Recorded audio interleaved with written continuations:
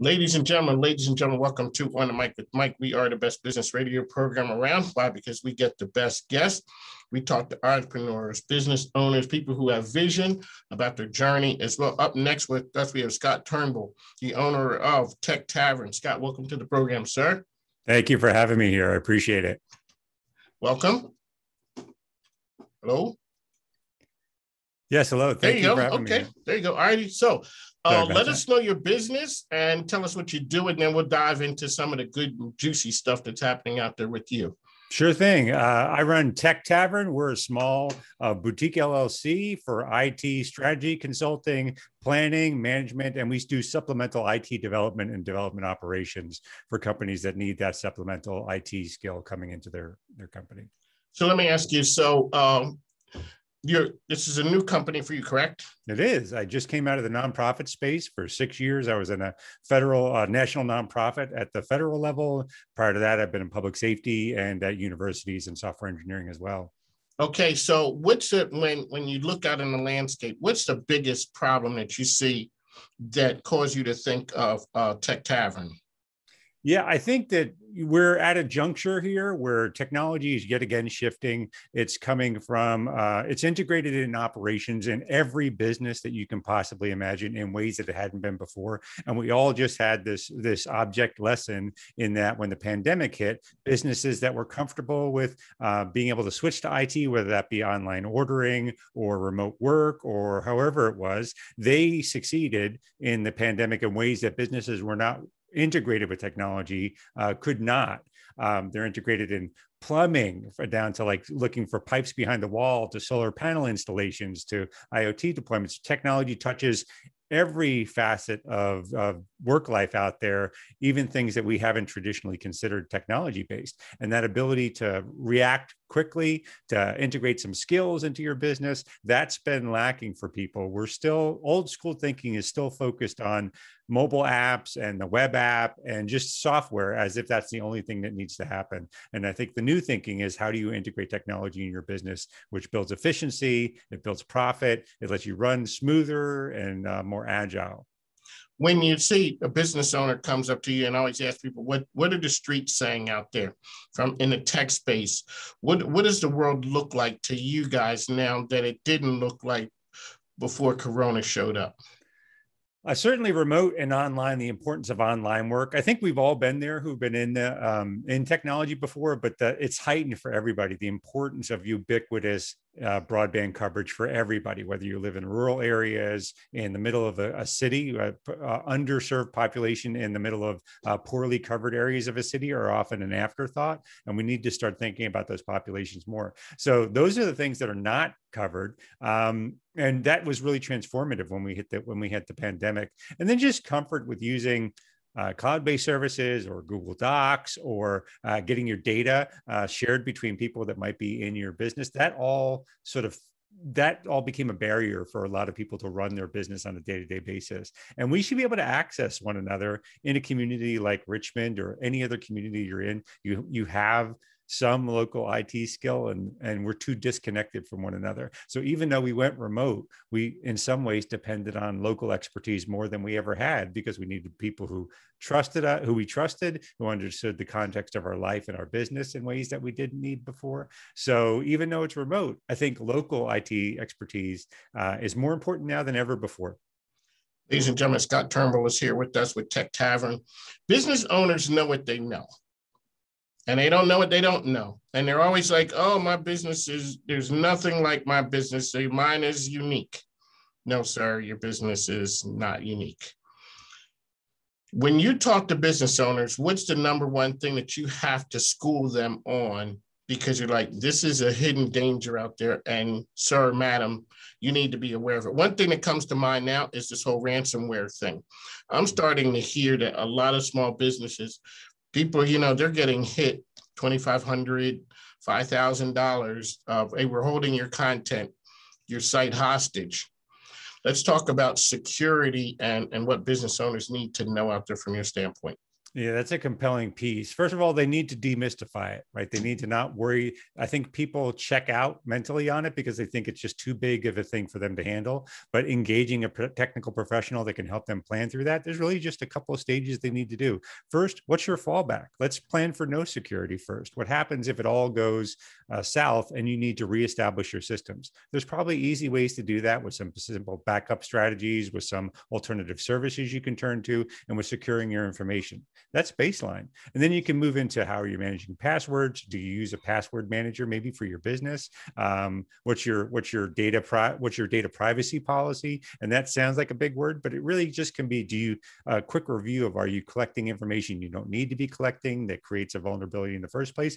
It's really not that. We need to demystify. It's not that hard to work through from sales to even small businesses, small local contractors that might be out there who don't want to lose their uh, their customer um, uh, customer relationship database or uh, credit card numbers. It's really kind of easy to walk through that process. You just have to set a little time aside to do it. But I think that cybersecurity piece is something everybody is is rightfully concerned about but sticking your hand, head in the sand isn't going to do it. Uh, I know we need 35,000 cybersecurity professionals in Virginia alone to meet the needs of the next decade. Uh, we're developing those. We've got that talent locally, but we need to begin to integrate that into how can we efficiently build security workflows into what we're doing. And engaging with companies like Tech Tavern is a great way to do that. And how can people find Tech Tavern out there? you go to tech-tavern.com and all the information will flow. I'm just online right there. Or you can email me at info, uh, info at tech-tavern.com and I'll be happy to get back to you and we can open up a conversation, discuss what the needs are, create some kind of plan that's right for you and your business and we can apply some sort of strategy behind the, the needs of your business to walk you forward, make you feel more secure and feel like you have some efficiency in your return on your investment. There you go. Mike King, Scott Turnbull here with us. He's talking all things tech and the things that he could help you with because a lot of times businesses are vulnerable out there and they're just, you know, praying that something doesn't happen. And we see that something happens all the time. Most of the time, it doesn't make it to the media. People just suffer, suffer in silence. But you're saying have a plan. You know, the, the whole idea back in the day, now this is where, you know, you start dating yourself. There would always be a computer in the office where, you know, the IT department was just like, whatever you do, don't unplug that one. And why not? Because the guy who was here before me said, don't unplug that one we live in a world now with remote learning, you know, conversations here and there, whether it's cell phones, you know, we are moving at lightning quick speed after being on timeout for a year and a half. And the whole idea of security and IT services the business owners just kind of sticking their head back out there saying, okay, a lot has changed in the last 18 months. A lot of businesses didn't make it you know, and I tell businesses, you know, congratulations to you. Now, what does the next six, eight, 12 months look like? From your standpoint, what are some of the things on the horizon for small businesses that they need to be on the lookout for? I mean, I think that they need to get efficient and sort of develop a way to vet uh, online services that are being sold to them, right? That everyone feels buried under this avalanche of let me sell you this CRM, let me sell you this database, let me sell you this marketing opportunity, your uh, or a uh, new Salesforce uh, uh, plugin or something like that. You're just overwhelmed. Let me re- rewrite your entire site. Get with someone who's going to take a minute to to listen to what's going on with your business the context of your history what your true needs are i think uh, that that looking at leveraging common systems that can easily blow past the things that are, are not truly value add to your business and truly unique. What you said before about everyone thinking about their business is unique. I'll differ just in this, uh, this, this way. 90% of that is absolutely true. 90% you're not incredibly unique, but that 10% is unique and that's where your true value lies. So you need to operationalize that 90% down to all, as, as little as you can and get to how are you going to deliver on that 10% that's truly unique, whether that's your style of customer service, whether that's your end user population population, whether it's a type of service you, you, you serve, you need to operationalize that down to something that is a low footprint, say secure and easily manageable for you as possible. So what you're saying is the 90 is everyone. The 10% is what drives revenue. That's it makes right. you different than everyone else. That's exactly right. One of my Mike ESPN Richmond here, Mike Scott here with us as well from Tech Tavern. We're here daily one uh, ESPN Richmond 106.1. I'm also on the Choice 105.3 is where you can find us at Mike King Biz Radio. We are here offering uh, airtime to nonprofits, community organizations, and business owners, talking business and all the things in between. All right, Scott. So you had an idea to start a business. How do you make that come true, man? A lot of people have ideas how do you what, what's the steps? Really it's it's not it's not magic. You get out you register your llc you create your business plan. So who are your target markets? What are the core services you're going to offer? How are you going to touch can connect with people who need those core services? And then it's just grit. You just need to keep on it. The truth is there's more market out there than there are businesses to meet that need, especially for small businesses. It's there. Um, you have to find a way to do it without losing all your time because it, uh, this can be a huge time sink and you can spend your time everywhere. But uh, leverage local professional organizations, like leverage local nonprofits, uh, look at other partnerships doing similar type of work and start to think outside the box of, of um, what you might do. I'm going to, I'll bring up a quick example of a, uh, I'm mentoring a, a, startup group right now. They do um, tracking in, in, in the real world of uh, public safety vehicles, so fire trucks or police cars or something like that. They have a little tracker on there that tracks it that tracks it around. But I'm working with them because that there's no reason that, that that needs to be public safety only. That could be garbage trucks. That could be even in logistics. It could be your your Amazon delivery truck. It could be anything that needs tracking, real time tracking in the field. So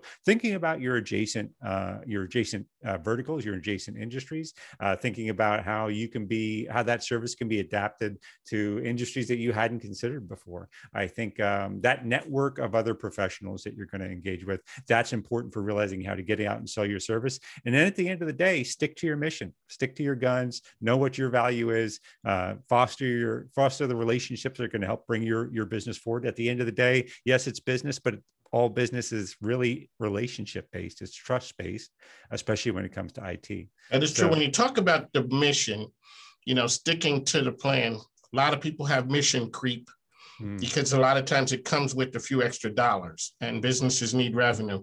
I typically don't do B, but for you today, I'm going to start. Next thing you know, I'm, I'm, I'm off of the scope of what I'd normally do, off into this thing, and you can become, you can start running down a tangent because that's not your core competency. Let's talk a little about an engagement with uh, Tech Tavern. What's the process look like? Rain, you know, I give you a call. Hey, you know, Scott, house is on fire. Well, I don't even think it's on fire. I think, hey, Scott, I think I'm pretty good.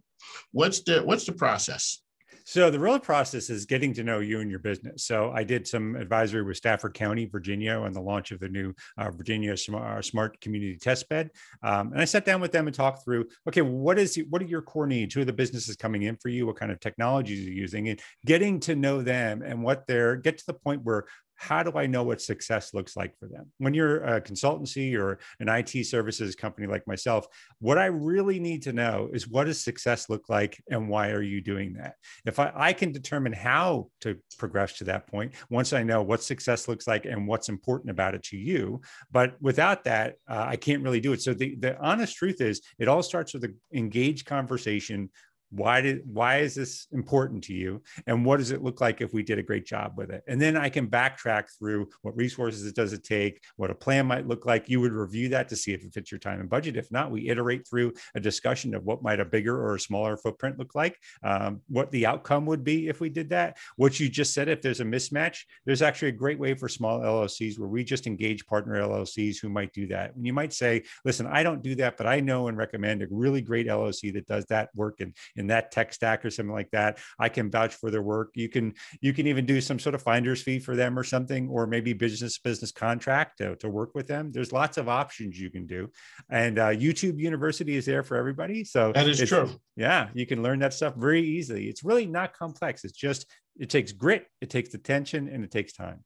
When you looked at the you were starting the business, how did you determine what was going to be the marketplace for you? What were the businesses that you were going to try and capture? Yeah. So uh, probably not like this, not dissimilar to a lot of people. I have a career. I'm an older man, right? So I have a career behind me. I have some some some. I've worked a lot with with cities uh, in a public-private partnerships with corporations looking to do civic interest par- projects. That's so taking that experience, I knew that that was my contact network. I knew that that was where my expertise was, not just in terms of technology, but in terms of uh, managing uh, those end user populations. All right, ladies and gentlemen, on the mic, mic no, got to pause for like a moment. We it stopped, is what I'm saying. Already, we. That's fine. You're an old man, right? So I'm not probably not. Well, for myself, I look at my skill set and what my previous network was. And I think that that's where all small business owners need to start. Who's my network? What kind of skill sets do I have to offer them? So for me, it's data services, it's online, uh, it's uh, it's online applications, it's uh, IoT devices, it's cybersecurity, and a few other core uh, uh, core pillars like that. So working through the network of professional contacts that I've had before, the professional contacts that I know, uh, that reaching out to them and establishing a conversation about what project we can work together. It really is just relationships. IT is no people treat IT like it's a different kind of business, but the truth is core business is core business. It's all relationships. All righty. On the mic with Mike Scott Turnbull is here with us as well. All right, so you come from the uh the nonprofit world. It must be it must be in the DNA of your family. There, shout out to the missus uh, with with that one right there. We talked a lot of nonprofits. Uh, give the nonprofits out there some words of wisdom because you know everyone knows they're the big ones. The big ones have a lot of help. And then I talked a ton of the smaller ones who are doing great things, but man, they are they're doing it by magic and duct tape and glue. Give them some words of advice uh, from your years of experience on how to make it, maybe from an IT perspective, but in general. Yeah, thanks. I, have spent my my entire life has been in public service, one one form or another, um, and so I think most of them know it. First of all, I think uh, you know most nonprofits know this, but they're a business like anyone else. So they need to nonprofit businesses are still businesses. They need to run operations just like any other business out there. When it comes to IT, partnering with people uh, who can bring the cost of their services down, but looking at efficiencies. Every business should look at, especially nonprofits, should look at their their user base and how they can build efficiencies to do cost recovery first to free up capital to be able to apply that to uh, direct services or growing other IT services if they need it. If they need it, but um, having that, uh, there, I think nonprofit sector is 1.2 trillion in the U.S. alone. Uh, so there's there's money out there, and those that's real business making real impact. Um, I think that the seeking out public-private partnerships are the new, uh, really where it's gone for everybody. So we we have businesses who want to be responsible, but they need to partner with the right organization. When they're looking to do that, they want to know their money is going to be used effectively, that there's a plan in place, and that whatever project they might enter into jointly is going to be managed well. So all the things of project management acumen, uh, spending correctly on IT, making sure that it's serving the target, the end user population well. Those are all part and parcel to, to what I think success is for nonprofits that are integrating technology in some meaningful way. Well, Mike, Scott, how can people find you once again? They can just find me at tech-tavern.com or you can email me with through info at tech-tavern.com. Alrighty, uh, one last thing. One thing a person could hang their hat on that, that a business owner needs to do right now, you know, before anything else that you'd advise them on. I think you need to have your your sort of business plan together and what core services you need internally to do that. Uh, you know, the the the immediate most people enter into a, business they have that professional skill that's required to deliver the service. What mo- probably almost every small business owner has said to you is what they're overwhelmed by is payroll or running tax, you know, running their taxes or anything like that. So again, YouTube University lean into other entrepreneurs who've been in this space for a little while about uh, advice on how to structure that. Um, but really, the, the big advice is get those lateral skills necessary to become an entrepreneur because entrepreneurship is hard. That is true. Scott, we'd like to thank you for coming on. One of Mike with Mike Scott Turnbull is here with us. Scott, thanks a lot. Take care now. Thank you. You have a great day. All right. On the mic with Mike, I'd like to thank our show sponsors, Jimmy uh, Jimmy Comer is out there also, uh, Andy Taylor from Junk Luggers and Tom Children, credit card guy. I'd like to thank those guys for supporting the program, allows us to do those great things. Thanks now, take care. Mm-hmm.